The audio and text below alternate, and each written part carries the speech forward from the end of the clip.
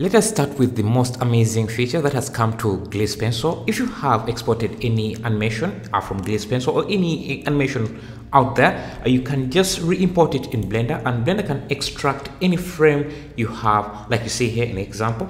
Uh, you can extract any frame in Blender and Blender will convert it into a Grease Pencil object that you can just edit as you want. So you can see just dragged you can just drag the sequence directly into Blender and Blender will extract the entire sequence back into uh, a grease pencil animation and then you can make changes to that animation. It doesn't ma even matter if it's if uh, the export was from Blender as long as uh, there are lines to extract uh, like this it, you can just drop it in and Blender will extract it for you. Let me just show this to you just one more time so that you can see how amazing uh, this feature is. You can see the final animation being played in VLC. Uh, it's, it's, an MK video, and then it just drags it into just drag it into the Grease Pencil uh, viewport, and uh, then just right click and extract the keyframes, and it just extract the entire uh, and convert it into a Grease so object that you can edit, make changes to. You can see I can change the curves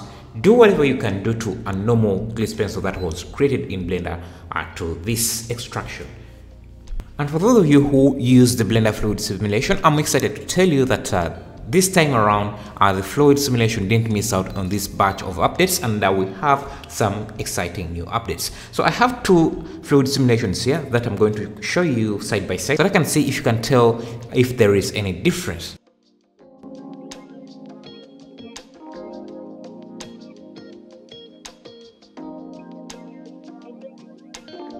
The Blender Fluid Simulation now supports basic APIC simulations. They can be enabled from the simulation method, which before only supported flip simulation. Playing these side by side, you can see that uh, the flip simulation has a lot of uh, particle splashes, which is nice, but uh, when you're creating very small scale simulations, uh, they can create a very unstable behavior, uh, which can sometimes also increase on the computation or simulation uh, time for your simulations. And now with the new APIC simulation, I can see that we don't really have that many particles, which means that the simulation is going to be stable especially on small scale uh, simulations.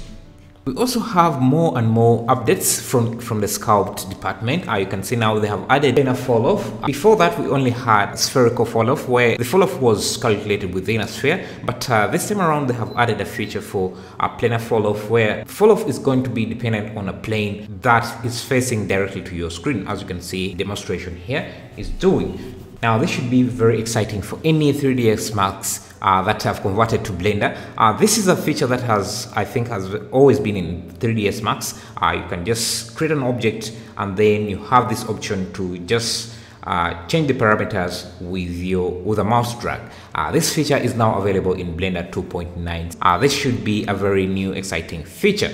You can easily create walls, add objects to, to mesh surfaces uh, in one go. So that's it. I'll keep updating you with new features that are coming in uh, into Blender. Thank you for watching. See you next time.